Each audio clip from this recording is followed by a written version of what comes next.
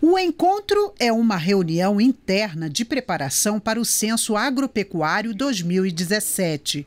A coleta de informações para a base de dados começa em 1 de outubro. O IBGE vai contratar 26 mil recenseadores em todo o país. O levantamento terá que estar pronto em cinco meses. O Brasil está devendo ao Brasil informações atualizadas sobre essa realidade rural principalmente da agricultura familiar, que compõe mais de 4 quintos, ou seja, cerca de 80% desse universo de 5 milhões de estabelecimentos são agricultores tipicamente familiares um, um sem número de políticas públicas vem sendo desenhadas ao longo desses últimos 10, 11 anos, mas ninguém mediu ainda de forma absolutamente universal, ou seja, para todos, o que é que de fato aconteceu. No total, serão investidos 775 milhões de reais para a realização da pesquisa no campo, 505 milhões em 2017 e o restante em 2018. O objetivo é fazer uma mega fotografia demografia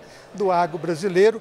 E a partir dessas informações, com a tecnologia, elas rapidamente serão processadas, analisadas e aí os municípios, os estados, as regiões poderão utilizar esse novo mapa da mina da agropecuária brasileira para promover e debater e defender políticas que facilitem, que melhorem o desenvolvimento econômico e social da, da, agricultura e das suas áreas de apoio. O presidente Michel Temer participou da cerimônia de abertura do encontro. Ele falou que o trabalho do IBGE é importante para a condução de políticas públicas e deu exemplo. Ressaltou que foram os dados do Instituto que revelaram que a população brasileira está vivendo mais e que, portanto, é fundamental a reforma da Previdência. Não é de hoje que os dados do IBGE claríssimos indicam uh, que a população brasileira, graças a Deus, está vivendo mais.